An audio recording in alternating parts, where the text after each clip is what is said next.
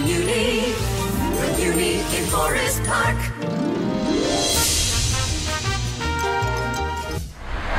What are your other dream roles? Um, it's funny, they've shifted. Uh, you know, I, I got to play Lois Lane in Superman uh, this past winter, and Isabella was playing as Superman, and we had so much fun. And uh, John Rando and I, um, for the first time, allow Lois to be funny and sexy and smart. And you got to really see why Superman is in love with her, or Clark Kent is. And that was so much fun. I mean, that would be a dream for that to go to Broadway.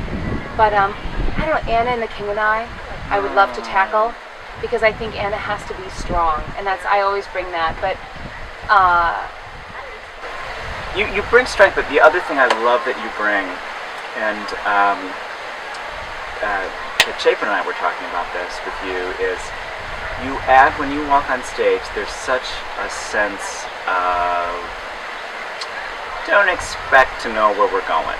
yeah, And that is a great quality. It just instantly compels the audience to you. Keep them on their toes. Keep them on their toes, but makes them feel really alive.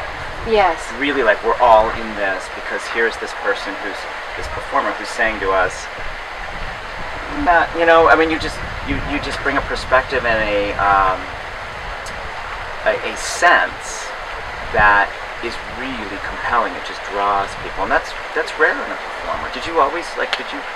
Did, you were like, oh my god, this kid's talented, or how was this? You know what? I, uh, growing up, I, I used to beg my mom to let me audition for Star Search.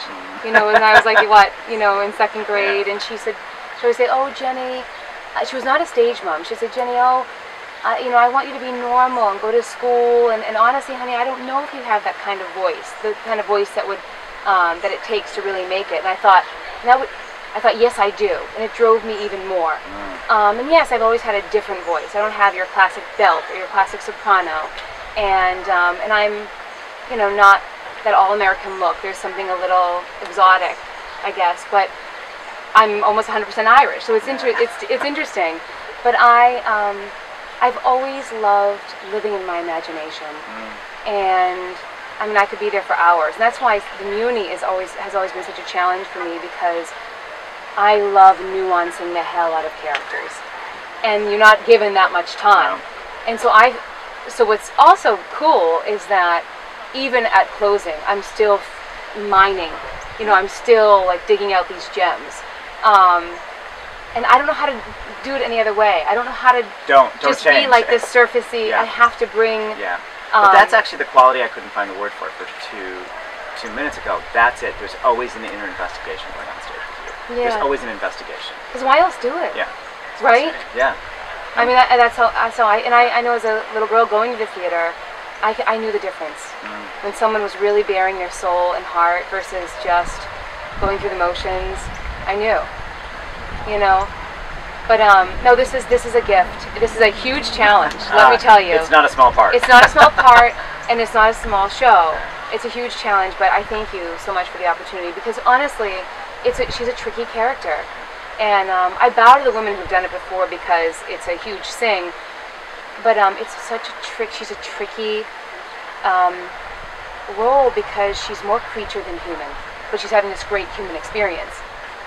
You and know. there's also in, in, in this there's what was brought in for this script for the stage adaptation was more material from the original books, which is a little bit different than the film. So there's a whole layer that people don't know of of Mary Poppins, at least only if they know the film. Although if you look closely at the film, it's all there. yeah. It's really all there. It's just there in a different way. So And Mike, I have to commend you for taking such a leap of faith on this one. This is a huge show for the Muny to put on in this amount of time, you know, and uh, and also Gary Griffin, Gary Griffin, Gary Griffin, Gary Griffin, Gary Griffin, but also, um, you know, we're cutting things and Yeah. we've been allowed because we've talked to the creatives, or you have, you've made it possible. Yes. You've been the facilitator. You've been Mary Poppins Yeah. behind the scenes, Yeah. manipulating Disney's to do great. the to do the version that we want to do. Yeah, no, it's great. Yeah. Fantastic. Thank you. Thank you.